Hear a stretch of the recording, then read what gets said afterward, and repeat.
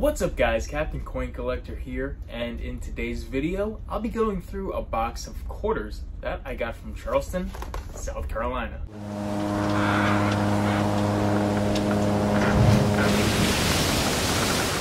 Alright guys, I'm on the ship. We are in Galveston, Texas, heading up the Houston Ship Channel all the way to our dock in Galena Park, Texas, better known as Houston, but anyway, I have some downtime before I go to bed, and I'm gonna be going through a box of quarters to see what we can find from this box that I got in Charleston about a month ago.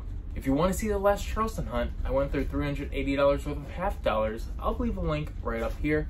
But in the meantime, I'm very excited to see what we can find in these $500 worth of quarters because it's been a while since I went through a box of coins. So let's open up this box and see what we got inside. We're looking for W's. We're looking for 2009 to 2012s.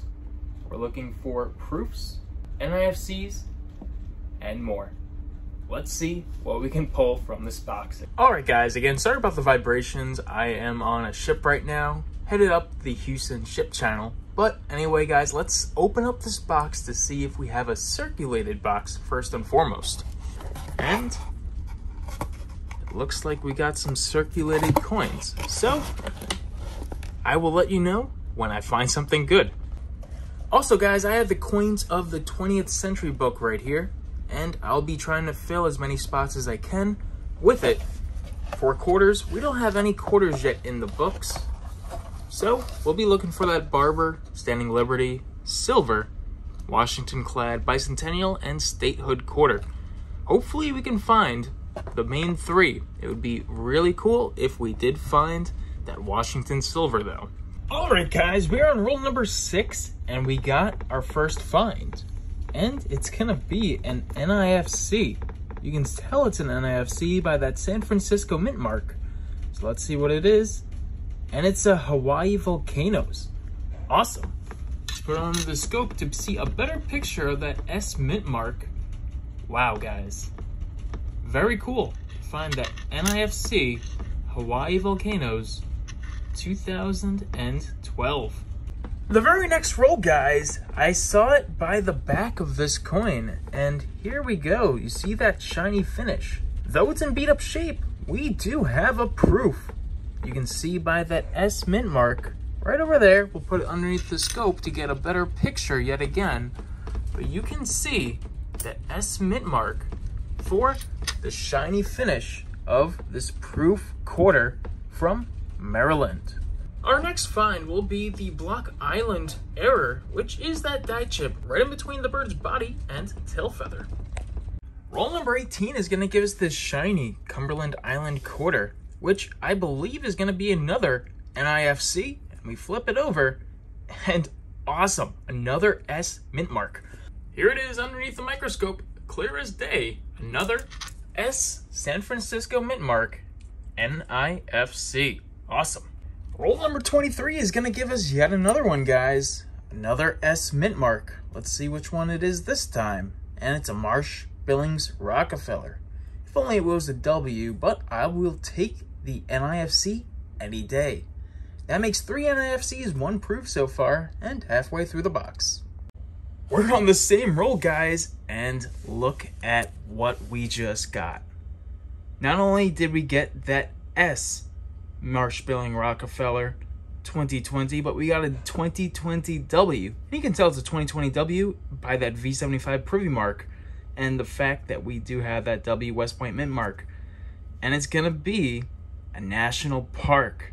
I haven't found one of these in a while, so I'm pretty happy to find another W after a while of not coin roll hunting a box of quarters.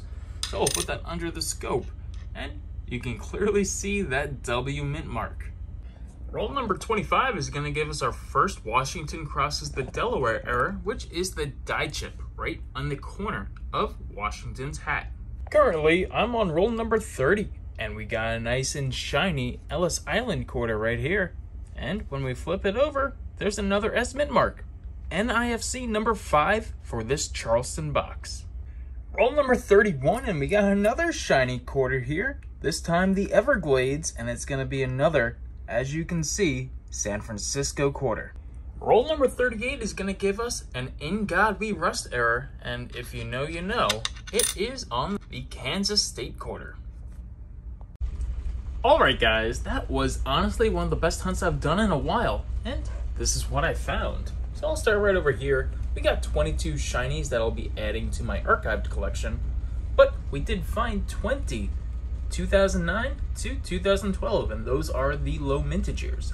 If you're new to my channel, I do collect all the 1998 coins that I do come across, and I got 28 of them. I collect them because that was the year I was born, and I have a big bank full of coins from that year, 1998. Moving on, I did find 8 bicentennials, both from the Philadelphia and Denver mints.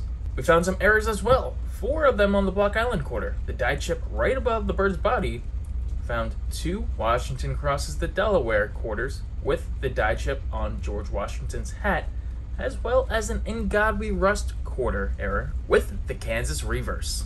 Moving on to our best finds, we found five of them in all, and they are the NIFCs. San Francisco minted quarters from the National Park Series, all of which that have the S Mint mark. In addition, we found another S, which happened to be a proof, a very beat up one, but it is a state quarter from Maryland, San Francisco minted, and that was a good find as well. Possibly the best find of the box has to be that W quarter though. There you can see the W mint mark on the right side of the coin, and we flip it over to National Park Series. It's 2020, and how you can tell it's a 2020 is by that V75 privy mark on the left side of the coin. But these quarters have a high premium and are selling for between 10 and $20. So definitely the best find of the box. But overall, it was a really good box and we did find a lot of coins to keep and put towards the collection. Alright guys, so since I'm on the ship, I don't have my full books with me, so I won't be able to place the finds from today's hunt into my Quarter Hunt and Fill series. So, instead, I purchased this book to try to fill as many spots as I can while on the ship. And as you can see, we got cents, nickels, dimes, quarters, half dollars, and dollar coins. Today, we did a quarter hunt from Charleston, and we're gonna fill a few spots in it. We didn't find a Barber, Standing Liberty, or Washington Silver Quarter, but we did find, first of all, the Washington Clad, which is a very common one, the 1965 through 1998 series, and since I was born in the year 1998, and it's the last year of the Washington Clad, I'm gonna put a good example of that one inside the book as our first quarter dollar. The second one is the bicentennial. The bicentennial quarter was in 1976, representing the 200th anniversary of the United States of America. So I found a good example of Philadelphia quarter, and I'm gonna put it in the book as well. Last but not least, we'll have the statehood quarter, which was 1999 through 2008. I was gonna put a South Carolina quarter in here, since I did get this box from South Carolina. But we did find that proof in the box. So I'm gonna put this example in the book instead. So here we go, putting it right in the book as our first statehood quarter of the book. That means in total, guys, we have five spots filled. A whole lot more spots to go, but a whole lot more coins to go through while on the ship. Well, guys, I appreciate you guys tuning into this quarter hunt, and it was a really good one, so I hope you guys enjoyed it. If you did like the video, don't forget to hit the like button, subscribe for more content just like this in the future, and I'll see you guys in the next video. As always, guys, happy hunting.